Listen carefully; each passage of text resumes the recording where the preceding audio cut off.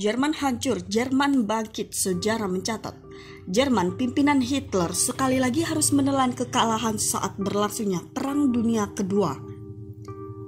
Berdasarkan konferensi Potsdam pada tanggal 2 Agustus 1945, Jerman dibagi menjadi dua bagian wilayah barat Republik Federal Jerman yang dikuasai oleh Amerika Serikat, Inggris, dan Prancis, sementara wilayah timur Republik Demokratik Jerman dikuasai oleh Uni Soviet. Selain itu, kota Berlin yang terletak di Jerman Timur juga dibagi menjadi dua bagian barat yang dikuasai oleh Amerika Serikat, sedangkan Berlin Timur di bawah Uni Soviet. Hal ini dimaksudkan untuk menghancurkan atau meminimalkan kekuatan Jerman sebagai negara besar. Mulai tahun 1949 dan seterusnya, Republik Federal Jerman dibangun menjadi suatu negara barat kapitalis dengan sebuah ekonomi pasar sosial dan pemerintahan demokratis berparlemen. Pertumbuhan ekonomi berpanjangan bermula dalam 1950 dan menghasilkan satu keajaiban ekonomi 30 tahun which have wondered Manakala di Republik Demokratis Jerman menumbuhkan suatu pemerintahan otoriter dengan suatu gaya meniru ekonomi Uni Soviet. Keinginan reunifikasi Jerman pertama kali muncul dari rakyat Jerman sendiri, terutama Jerman Timur. Seperti sesama negara komunis lainnya, Jerman Timur jauh tertinggal dibandingkan tetangganya Jerman Barat. Walaupun Jerman Timur menjadi terkaya dan negara paling maju di blok timur, banyak dari warganya yang masih melihat ke barat untuk kebebasan politik dan kemakmuran ekonomi. Pelarian orang Jerman Timur ke negara non-komunis melalui Berlin Barat menyebabkan Jerman Timur menegakkan satu sistem penjagaan perbatasan ketat yang mana tembok Berlin adalah bagian darinya. Pada tahun 1961 untuk mencegah pelarian massal ini, sistem politik di masing-masing wilayah dipengaruhi oleh negara penguasanya. Jerman Barat menganut demokrasi liberal, Jerman Timur menjadi negara komunis. Hubungan Jerman Barat dan Jerman Timur turut dipengaruhi oleh hubungan antara Amerika Serikat dan Uni Soviet. Ketika Perang Dingin memuncak, hubungan antara kedua Jerman turut menegang.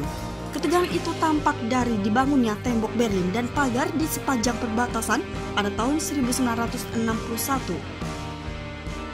Keikutsertaan Jerman Barat dalam NATO dan Jerman Timur dalam Fakta Warsawa. Pada saat Uni Soviet membuka diri dengan Glanus beserta perestroikanya, ketegangan antara kedua Jerman mulai mencair. Bahkan terbuka keinginan dan pemikiran untuk melangsungkan reunifikasi penyatuan kembali Jerman pada pertengahan tahun 1980-an.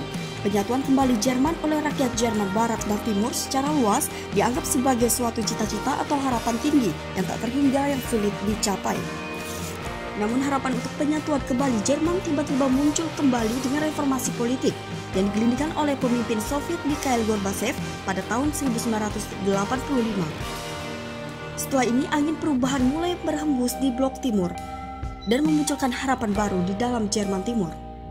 Pada tahun 1989, negara tetangga Hungaria yang saat itu juga berhaluan komunis membuka perbatasan dengan Austria, sekaligus membuka jalan lebar bagi warga Jerman Timur melarikan diri ke Jerman Barat.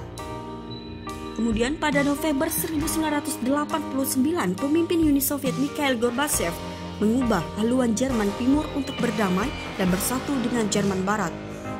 Ditambah dengan hasrat penduduknya menuju barat yang semakin besar, pemerintah Jerman Timur pun mulai melonggarkan aturan berpergian ke barat melewati perbatasan. Hingga pada akhirnya, sedikit demi sedikit warga Jerman Timur mulai menghancurkan tembok Berlin. Pada tanggal 18 Mei 1990, pemilihan umum bebas pertama dan satu-satunya dalam sejarah Jerman Timur telah dilaksanakan. Pemerintahan yang dipilih diberi mandat utama untuk berunding dengan Jerman Barat, masalah persatuan dan membubarkan dirinya sendiri.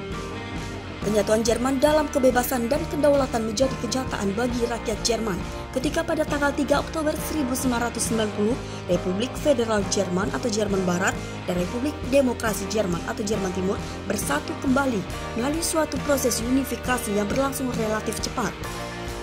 Hal itu berarti kurang dari setahun ketika pada tanggal 9 November 1989 dan Berlin berhasil diruntuhkan.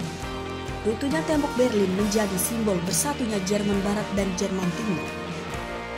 Upacara kenegaraan reunifikasi Jerman secara politik di Berlin, kota Berlin sengaja dipilih sebagai tanda kembalinya kota itu menjadi ibu kota Jerman bersatu Dalam pemilihan umum dua bulan kemudian, Helmut Kohl terpilih menjadi kanselir pertama Jerman Bersatu.